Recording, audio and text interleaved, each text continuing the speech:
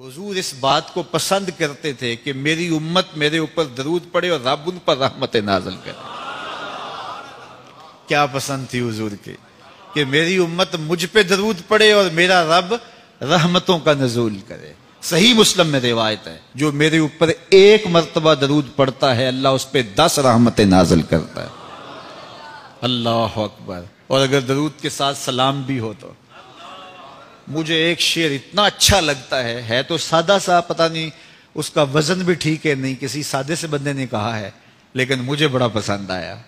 بعض دو کھینچ لیتے ہیں نا، کسی نے کیا خوب کہا کہ درود پڑھنے سے ثواب ملتا ہے، سلام پڑھنے سے جواب ملتا ہے۔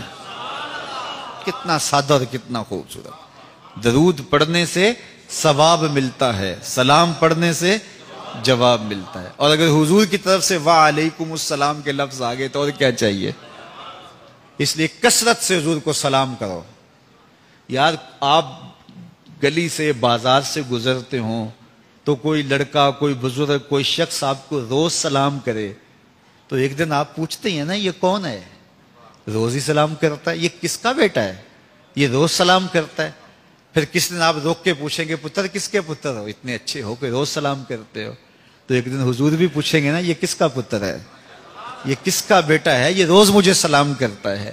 تو پھر حضور سے تعارف ہو جائے گا۔ اس لیے حضور کو سلام کیا کرو۔ حضرت ابو دردار رضی اللہ تعالیٰ عنہ کہتے ہیں، میں حضور کی بارگاہ میں جب آقا نے فرمایا نا کہ جمعے کے دن کثرت کے ساتھ میرے پہ درود پڑا کرو۔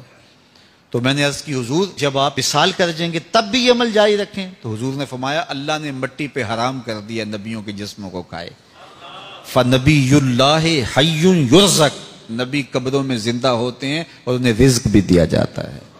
اس لیے جمعے کے دن کثرت کے ساتھ میرے اوپر درود پڑھو، میرے اوپر سلام پڑھو۔ اللہ اکبر۔ تو حضور فرماتے مجھے یہ بات پسند آتی ہے کہ کوئی میرے پہ درود پڑے اور پھر رب اس پہ رحمت نازل کرے۔ اللہ اکبر۔ حضرت ابئی بن قاب کہتے ہیں، میں نے حضور سے کہا، حضور میں چوتھا حصہ آپ پہ درود پڑھوں گا۔ اور باقی جو تین حصے ہیں دیگر وظیفے کر لیا کروں گا۔